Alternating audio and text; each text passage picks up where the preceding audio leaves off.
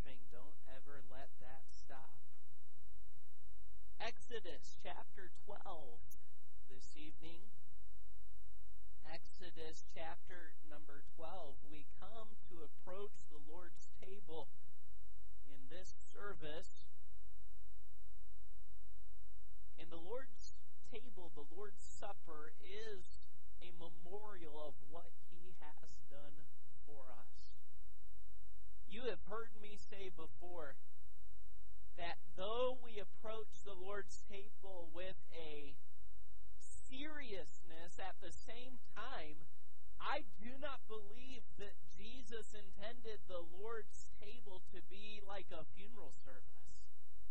I don't at all there is a seriousness that we need to have as we approach the Lord's table. but at the same time, it is a celebration. Now, it's a celebration that we partake of appropriately. I don't think it's like, you know, the Eagles fans going crazy over their win. By the way, in case anyone wonders, I hate the fact that they won.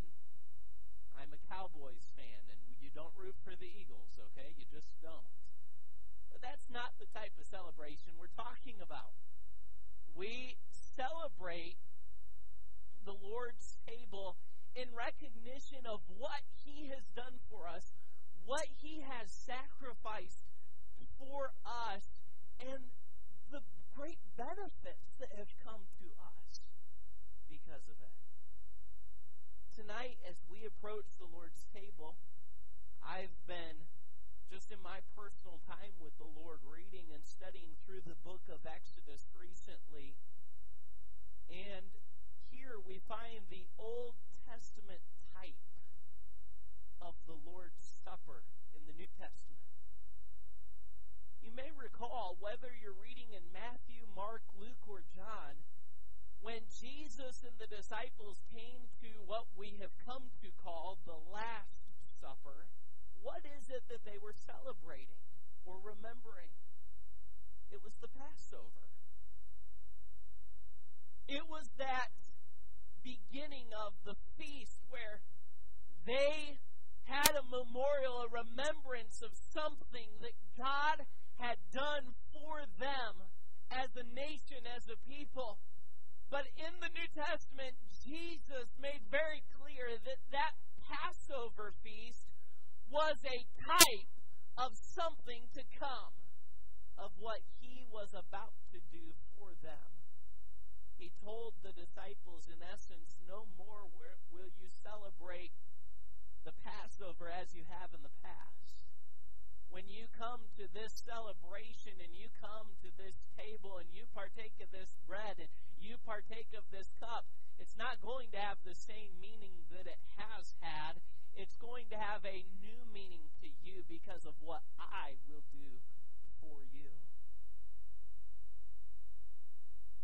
But even as you come back to the book of Exodus, you find a clear correlation, relationship between the Old Testament type and the New Testament practice of the Lord's Supper. Look here with me just at two verses as we begin Exodus chapter 12, verses 12 and 13.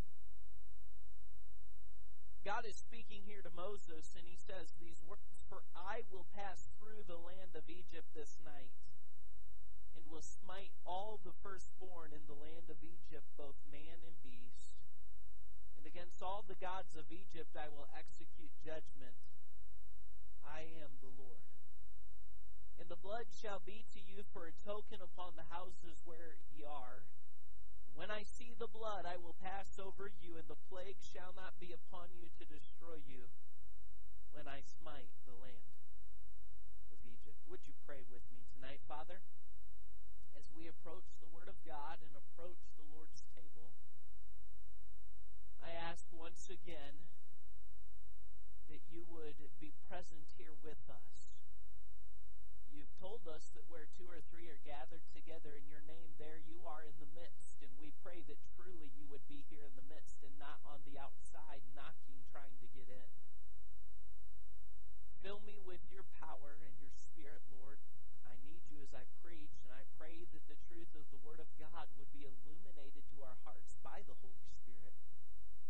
That we would leave here with again a renewed appreciation for all that Christ has done for us. Lord, please speak to our hearts during this time, and we'll be sure to give you the praise and the honor for it. In Jesus' name, amen. When you talk about the Passover, it's good to remember that the Passover represented a new beginning to these people. They had come to Egypt during the famine in, Canaan, end of Genesis tells us. And they had spent uh, an amount of time there until that king arose that did not know Joseph, who enslaved them. And for 400 plus years, they have been slaves here in the nation of Egypt. But now God was ready. He had brought Moses the deliverer. Nine plagues have passed already. The tenth is about to come. And God, who's omnipotent, who's omniscient, knows all, can do all, he knows that when he brings this tenth plague upon Egypt, Pharaoh's hard heart will be broken and he will release Israel from their captivity. And not only will he just say, hey, get out of our land, they'll be spoiled as they go out of the land. They'll receive riches and goods and materials from the people of Egypt as they go out and embark on their journey to the new land. This was truly a, a new beginning for them. In Exodus chapter number 12, verses 1 and 2, as God began to speak to Moses about this Passover that would be a memorial of what he would do for them at this time, he tells them,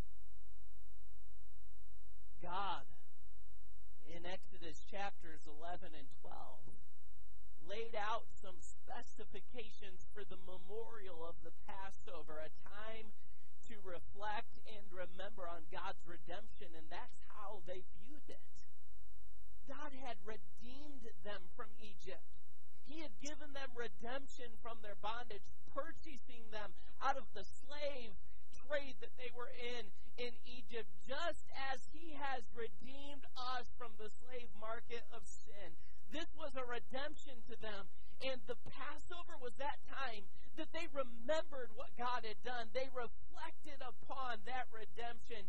And you and I, too, have a reason to remember and reflect on God's redemption, what He has done for us. And that's what the Lord's table is all about. For a few moments tonight, I want us to examine the Passover and see four truths that the Passover reminds us of. Four correlations between the Passover and our salvation and the Lord's table. Would you notice, number one tonight, that the Passover reminds us that there is a sentence. The Passover reminds us that there is a sentence. The entire chapter of Exodus, chapter number 11, speaks of this tenth plague that God would bring into the land of Egypt. And then in Exodus chapter 12 and verse 12, which we read, the Bible says, I will pass through the land of Egypt this night and will smite all the firstborn in the land of Egypt. Notice, and against all the gods of Egypt, I will execute judgment. I am the Lord. You know, of course, that this tenth plague was a plague of death. That's what it was. God sent the angel, sometimes we call the angel of death, throughout the whole land of Egypt. And the firstborn of, of man, of every family, the firstborn of beasts of every kind, died during this plague.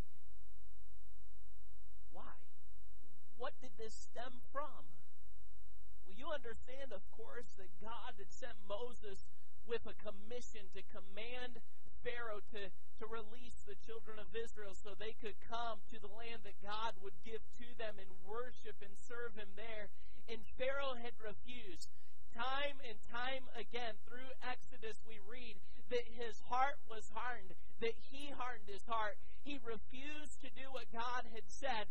He was stubborn and rebellious as his people were. And God was bringing judgments upon them plague one and two and three and four and so on were all a judgment from the hand of God because of their stubbornness and rebellion, their disobedience against Almighty God. And the tenth plague was just the peak, it was just the climax. They were under the judgment of God, the sentence of God because of their sin. And the simple reminder is this that apart from Jesus Christ, we are all under the sentence of death because of sin. The Old Testament and New Testament alike speak the same thing. The Old Testament says it this way the soul that sinneth, it shall die. The New Testament, a verse we know so well, for the wages of sin is death. And as I approach the Passover, and even as I approach the Lord's table, I am reminded that there is a sentence, a condemnation because of sin. Sin carries with it great consequence. Ultimately, that sentence is death. But I hasten on to point out to you, secondly, that there there's a reminder that there is a sentence, but secondly, the Passover reminds us that there is a sacrifice. In Exodus chapter 12, verses 3 through 7, God speaks to Moses about the sacrifice that could be made as a substitute for the sentence. But I want you to understand everyone was under the sentence. You understand that? Everyone was under the sentence. If you were in the land of Egypt when that death angel came through, you were under the sentence apart from the sacrifice. Egyptian and Israelite alike was under the same sentence. God said he would make a difference between the Israelites and the Egyptians, but that difference would only be appropriated based on the sacrifice that God commanded them to make. Exodus 12, 3 through 7. We'll not take time to read it, but you can on your own time. As you do, you'll find that there God speaks to the children of Israel about how they were to choose and examine a lamb to make sure that it met God's specifications, specifically that it was without blemish, if you will. It was to be a perfect specimen. They were to choose and do this examination on the 10th day through the 14th day, and then on the evening of the 14th day of the month, that lamb was killed and its shed blood its blood, was shed as a sacrifice. You know, of course, that God told them then to take that blood and to, to put it on the doorposts and on the lintels. And I want you to recognize this tonight, this truth. It was not the life of the lamb, but the death of the lamb that saved them from judgment. They were not saved from judgment because they brought this lamb on the tenth day and they, they chose this lamb without blemish, and, and they left the lamb there, and the lamb lived with them, and, and, and then they were saved. No, they were saved only by the death of that lamb. Leviticus 17:11 later on as God is giving his law and speaking to them about sacrifice says, "For the life of the flesh is in the blood, and I have given it to you upon the altar to make an atonement for your souls." For it is the blood that maketh an atonement for the soul. It wasn't the life of the lamb, it was the death of the lamb and the shed blood that saved them from judgment. The lamb has been a subject of the scripture from the earliest days of scripture.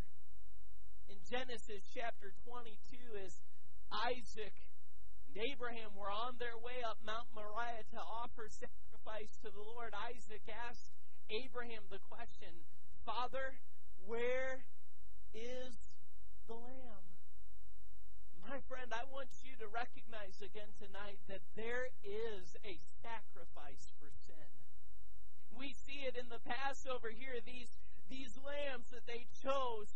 And, and throughout their history, the Old Testament times, the, the Jews offered these lambs again and again and again as an atonement, just a covering for their sin.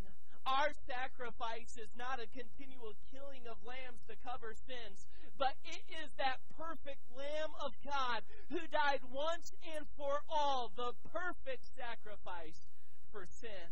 They were always looking for the Lamb, that Messiah that would come.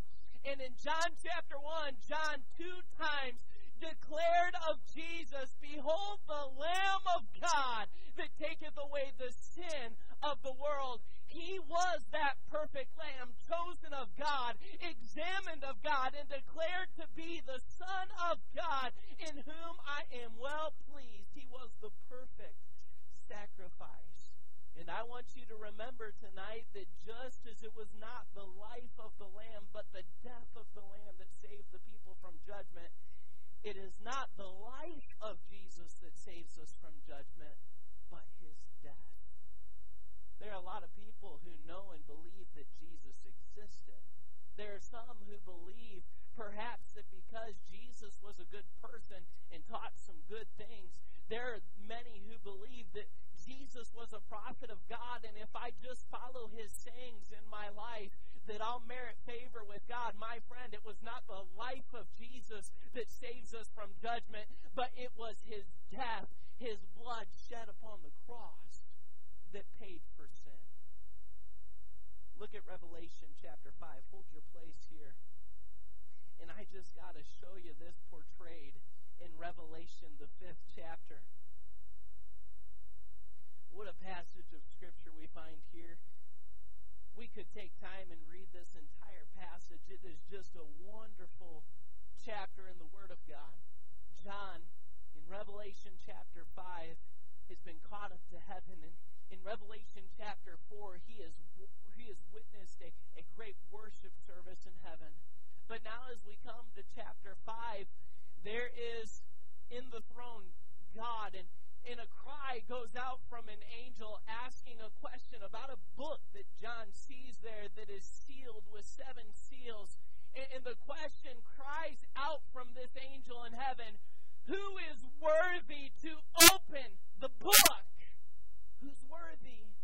They searched all through heaven, they searched all through earth. As they looked through heaven among those who were there, and as they looked through the earth and under the earth and, and everywhere that could be looked, all through the universe, John begins to lose hope because in verse number four, he writes, And I wept much because no man was found worthy to open and to read the book, neither to look thereon. And John says, I'm in heaven and I've witnessed this great worship service, but now there's this book with these seven seals and no one's worthy to open the book. And he begins to cry when one of the elders speaks to him and essentially says, Why are you crying? Hey, why are you crying, John? You don't need to be sad. You don't need to be discouraged. You don't need to be cast down. Notice he says, Weep not, verse number 5 of Revelation 5. Behold, the lion of the tribe of Judah, the root of David, hath prevailed to open the book and to loose the seven seals thereof. Here, this elder says, the lion of the tribe of Judah, the root of the tribe of Jesse. And I'm sure that John, familiar with the Old Testament scriptures, John, who walked with Jesus here in the world, I'm sure he already knew who this elder was speaking of, but I love the way that John changes the portrayal in verse number six. Here, this elder says he's the lion of the tribe of Judah. He's the root of David. But notice in verse number six, John and I beheld, and lo, in the midst of the throne and of the four beasts, and in the midst of the elders stood what? A lamb as it had been slain. If you look down to verse number eight again, and when he, the Lamb had taken the book, the four beasts and four and twenty elders fell down before the Lamb, having every one of them harps and golden vials full of odors. And the prayers of the saints, they sung a new song, saying, Thou art worthy to take the book, to open the seals thereof. For thou wast slain and hast redeemed us to God by thy blood out of every kindred and tongue and people and nation. Verse number 12 saying with a loud voice, Worthy is the Lamb that was slain to receive power and riches and wisdom and strength and honor and glory and blessing. And in verse number 13, you find him again referred to as the Lamb. Here's John. He's in heaven. No one's found worthy to open the book. The elder says, Look, there's the lion of the tribe of Judah. There's the root of David. And as John looks and he beholds, he writes, And I looked, and you know what I saw? I saw the lamb. I saw the one who had been slain for the redemption of all. I saw the one who had shed his blood. You say, Pastor, what's the big deal? What are you making such a big deal about? It's simply this. I want to remind you tonight there is a sacrifice for sin. We're all under sentence, but there is a sacrifice. Just as they were to take that lamb without blemish, the perfect Lamb of God came from heaven above to give his life shed his blood as the sacrifice for sin. Notice number three, back in Exodus chapter 12, the Passover reminds us that there's a sentence. The Passover reminds us that there is a sacrifice. Notice this. The Passover reminds us that there is a salvation. There is a salvation. Notice Exodus chapter 12, verse 13. I love these words. And the blood shall be to you for a token upon the houses where ye are. Notice, and when I see the blood, I what? Pass over you. There's a hymn that we sing that is based on that phrase in the scripture. When I see the blood, I will pass over you. The Israelites were commanded of God to take this lamb without blemish as a sacrifice to kill that lamb, to shed its blood.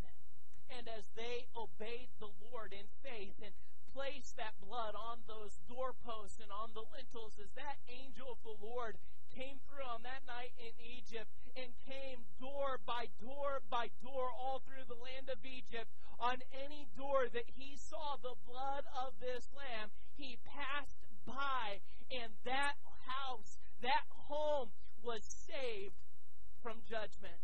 The life of the lamb was exchanged for the life of the firstborn, and by it, the firstborn was saved. And I want you to remember this night that our salvation is not purchased by corruptible things, as we read this morning, such as silver and gold, but by the precious blood of Jesus Christ there is a sacrifice for sin. When he shed his blood on that cross, he took your place and mine, and by his death and shed blood, we have salvation.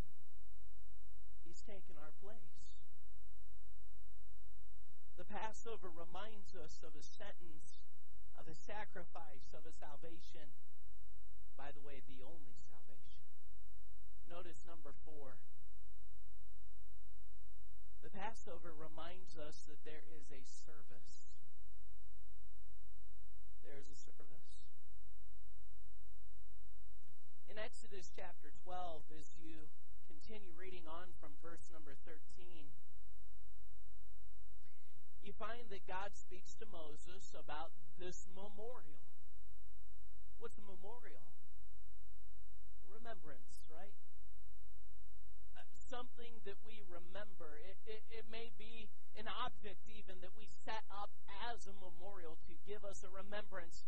God set into action this this feast, this week long remembrance and memorial that they were to celebrate throughout their generations uh, of that lamb and what God had done for them, that redemption from Egypt. And that's what this Lord's table is all about. In 1 Corinthians chapter 11, we're told that every time we partake, we do show the Lord's death till he come, that we do this in remembrance of him and what he has done for us. it, it is a good reminder to us that God has set this up to be the same as the Passover was to the Jews, a reminder of the redemption that we have in Him. But I want you to go further into Exodus chapter 12 and see this thought in verses 26 and 27. And it shall come to pass when your children shall say unto you, What mean ye by this service? That ye shall say, It is the sacrifice of the Lord's Passover, who passed over the houses of the children of Israel in Egypt when he smote the Egyptians and delivered our houses. And the people bowed the head and worshipped. Every year, the Israelites relived this night. God had laid out some very specific guidelines. They were to prepare and partake of this meal ready to leave, for they'd be thrust out quickly. They were to choose this lamb on the 10th day, examine it over the course of these four days leading up to the 14th day, and then shed the lamb's blood and kill it and use that blood as the atonement, the covering for their sin. They were to, on that night, eat these bitter herbs, which were a reminder throughout their history of the bitterness of their bondage in Egypt. They were to eat this unleavened bread, this bread without yeast, because yeast in the Word of God, leaven in the Word of God, is a picture of impurity and sin. And so they were to eat this unleavened bread, even there giving a picture of the Lamb's blood covering the sin. And they were to relive this throughout their generations. They were to relive it over and over again so that they would not forget what the Lord had done for them. However, it wasn't only for their sake. It was to be a teaching tool for their children your children ask you questions, those of you who have them? When they're young, especially, they're asking a lot of questions, aren't they? How many of you have experienced that? Kids asking you a lot of questions. I can imagine that even on that first Passover night, young children in a home, Dad, Mom, why, why did we choose this lamb put it apart here for a while? Dad, why are you taking that lamb and slitting the throat and collecting the blood in the basin? And Dad, why, why are you staining our doorposts and lintel there red with the blood of this lamb? Why do why are we eating these bitter herbs? Why are we eating these this unleavened bread? And why at this time of night do we need to be ready to get out of here? Even on that first night it was probably happening. And year after year, generation after generation, as these children were growing up and asking mom and dad, Mom, Dad, why are we doing these things? God said, Listen now, this generation after generation is to be a this tool that you will use to teach your children what God did for you when he took you out of the bondage of Egypt, what God did for you when he redeemed you. And there is a great lesson of application for us as it applies to the Lord's table. Many of us have children, some with us in the room tonight. We who know the Lord and have received his sacrifice and his salvation have the task of teaching these truths to our children about what, what we're doing, why we're doing it. Mom, Dad, why, why do we eat the bread, drink the grape juice out of that little cup at church? Why do we do that? You know, I want my children to ask these questions. I want my children to ask, Dad, Mom, why, why do we take time to read the Bible and pray to the Lord every night? Why do we sing songs to the Lord? Why do we bow at meals and thank God for our food? I want my children to ask why we go to church, and someday I want them to ask why we eat this cracker and drink this Jews at church from time to time. I want them to ask these questions because just as God told the children of Israel, hey, you have a responsibility to teach your children when they ask you, why are you doing this? You tell them what God did for you. And we have a responsibility before the Lord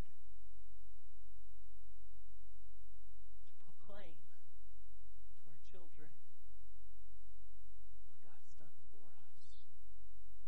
Can I ask you, what are you teaching your children? You may not have children. Maybe you have grandchildren. What are you teaching them? You might not have children or grandchildren because you haven't had that opportunity yet. What are you teaching those around you? We all have an example that we are leaving with somebody. We all have people who are looking to us. What are we teaching them? We ought to be teaching them.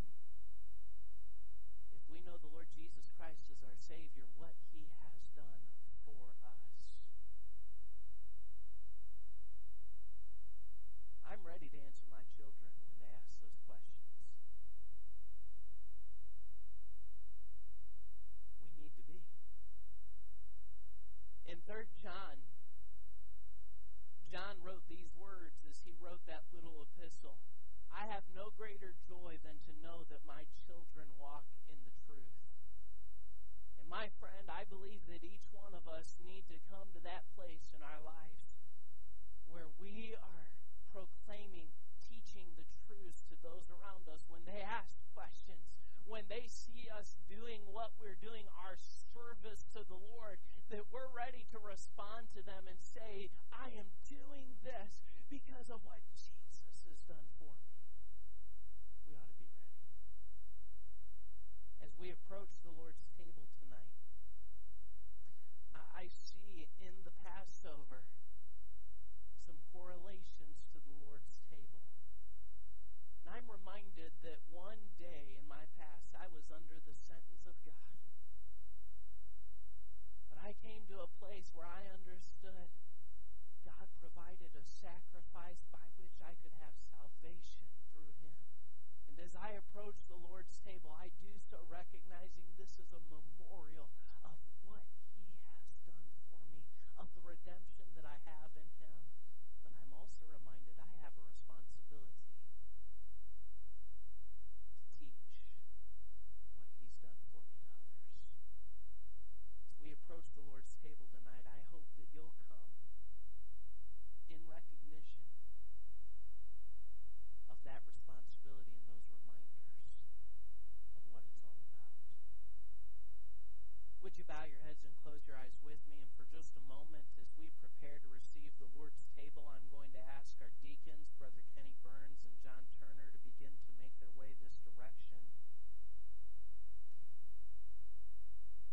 just take a moment tonight as we reflect on these reminders, these truths about what God has done for us.